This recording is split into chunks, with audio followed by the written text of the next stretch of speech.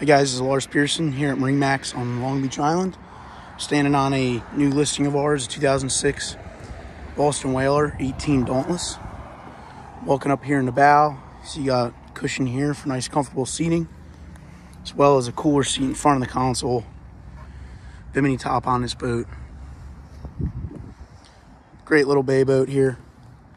Run around, catch fish, and also have seating to take the family out your helm here with your Mercury controls, Garmin display, gauges, switching, storage and access under the console.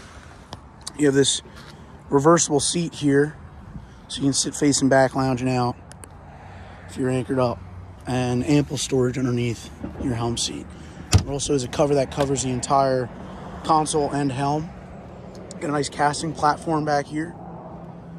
Seating, live well.